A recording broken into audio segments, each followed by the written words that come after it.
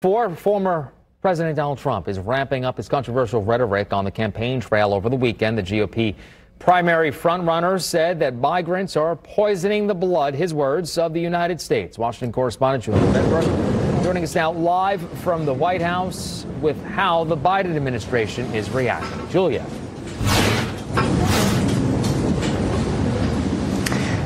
Good evening, Phil. Well, the White House is responding to Trump's darkening tone on the campaign trail, calling the former president's remarks over the weekend on immigration dangerous and fascist rhetoric. A White House spokesperson said that the comments are, quote, the opposite of everything we stand for as Americans.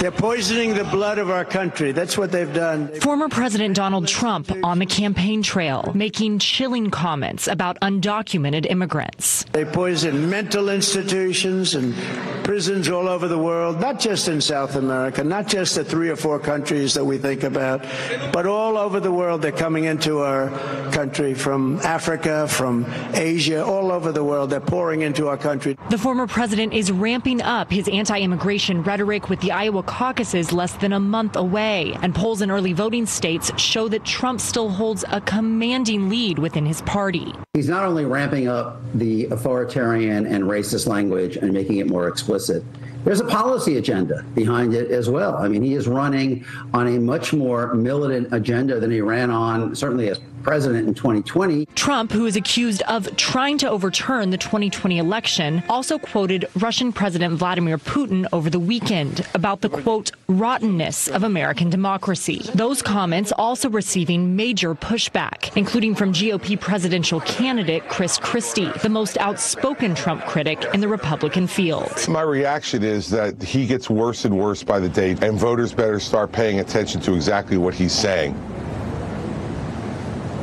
The former president has also claimed and repeated that he'd like to serve as a dictator for a day in order to finish his border wall and drill for more oil. Reporting live at the White House, Julia Benbrook, Wish TV.